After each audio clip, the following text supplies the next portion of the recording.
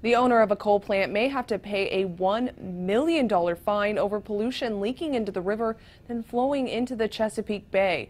The Talen Energy Brunner Island coal plant is about 50 miles upstream of the bay on the Susquehanna River. Last year, environmental groups raised concerns about chemicals leaking into groundwater, and in that settlement expected to be filed in federal court this week, Talen Energy agreed to investigate and address the issue. An official said they are committed to complying with environmental regulations. Katie Johnston for WJZ.com.